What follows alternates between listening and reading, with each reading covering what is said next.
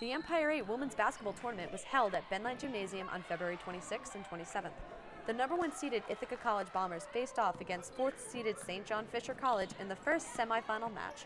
Though the Cardinals took the lead at the half, the Bombers made a comeback to win 72 66. Senior Catherine Bixby scored 29 points for Ithaca and was 5 for 7 in three pointers. In the second semifinal match, third seeded Utica College defeated second seeded Stevens Institute of Technology. Stevens was up 28 22 at the half, but the Pioneers picked up their game and took advantage of their opportunities to beat the Ducks 64 59. Ithaca and Utica fought for the Empire 8 title and the automatic NCAA bid on Saturday, February 27th. Utica scored the first basket and kept the lead for most of the game.